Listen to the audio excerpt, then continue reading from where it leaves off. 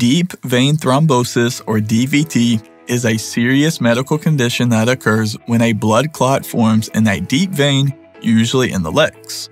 These clots can be dangerous because they can break off and travel to the lungs, causing a pulmonary embolism, which can be fatal. We created this video to cover the medical definition and provide a brief overview of this topic. So, if you're ready, let's get into it.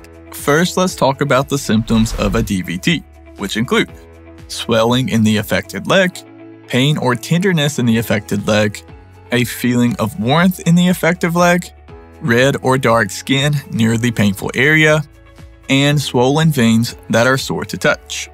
If you experience any of these symptoms, it is important to seek medical attention immediately.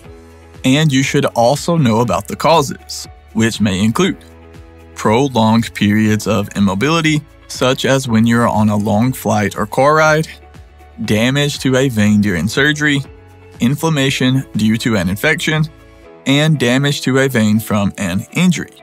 Some other risk factors include obesity, smoking, and certain medical conditions, such as cancer or heart disease.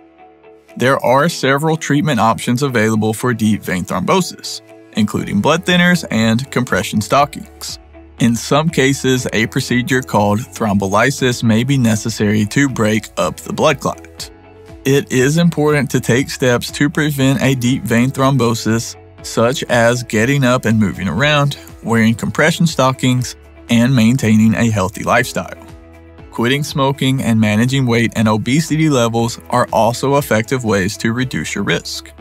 By taking preventative measures and seeking medical treatment if necessary, you can help protect yourself from this serious condition.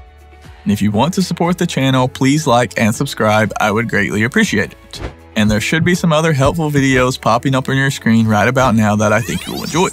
And just a quick reminder, we are not doctors, this video is for informational purposes only. Thank you so much for watching, have a blessed day, and as always, breathe easy, my friend.